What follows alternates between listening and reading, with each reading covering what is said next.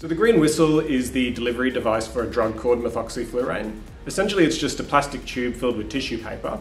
You pour the methoxyflurane into the tube, the tissue paper absorbs it, and then when you breathe on the tube you get a big breath of the drug.